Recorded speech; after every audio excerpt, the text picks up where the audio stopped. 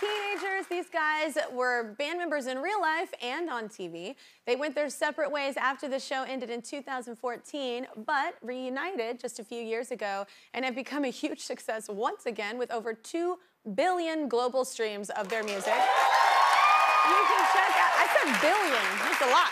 You can check out the new deluxe version of their Another Life album. It's out now. Please welcome the guys from Big Time Rush, Carlos PenaVega,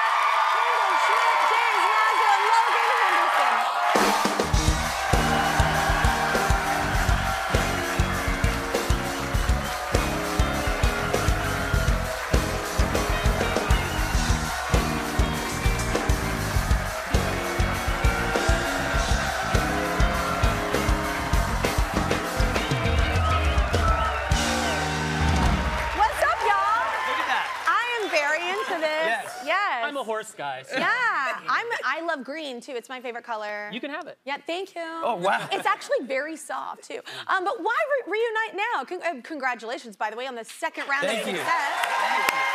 Why did you think now was like the time to do it? Well, it's been about three years now, actually. Um, it's something we had spoken about a bunch, and over the years, you know, the timing with our personal schedules, finding the right team, never quite added up. And Yeah. then we finally put everything in line. It worked out for us, and man, we were just so happy to be back. Worked out. You're selling out Madison Square Garden, the Forum. The, like you're uh, you're killing it. That's amazing. Do you find that? What about the fan base? Because it's got to be a little different, right? From when you first started as well. Like, do you find that they're new fans, old fans, or just a really good mixture? Yeah, I mean, we got lucky because our fans were amazing back then. They're all older now. Some of them even have kids now. Yeah. Oh, so they're bringing their kids. Right, but yeah. but then the amazing world of streaming, our show got picked up again.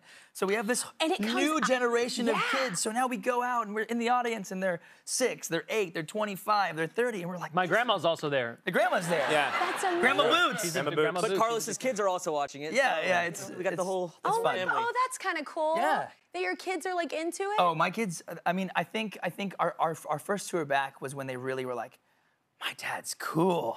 Oh, that's a win, and, man. and hold on, we did one show and Ocean. Oh, there they are. Yeah, Ocean, my oldest. He, it's, it's actually his birthday today. He, Happy he- birthday. He, uh, runs up to me, and he goes, he goes, I'm so proud of you, Daddy. And I was just like, oh my God, I, I love you. Just stop. Right. I would break down. I, it is so cool when you're cool to your kids. Yeah. Like it's like you could win awards, you could do stuff, but when your kid looks at you like you're like Thor, Oh, yeah. you're like, oh my god, like it's it's magical. So what about? I have to ask because a lot of artists have like pre-show things. Y'all do a quack? What? Yeah. Now, what do you do? It's like a Mighty Ducks kind of quack. I Uh, love the Mighty kinda- Ducks.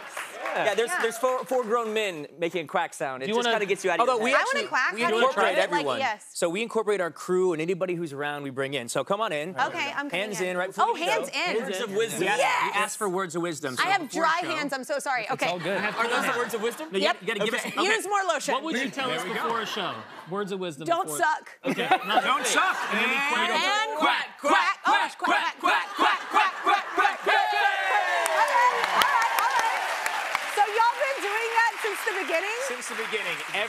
every single show, it's good luck. We have to do it. Yeah, since I since We I was miss it. 19. We Those did miss it twice. Before. Don't suck. Don't suck. suck. You I go, lotion well, your hands here's my thing. I, I kept it family friendly. That's not what I say. I usually am messing with my band. I'll pick like one person. I'm like, don't you this up.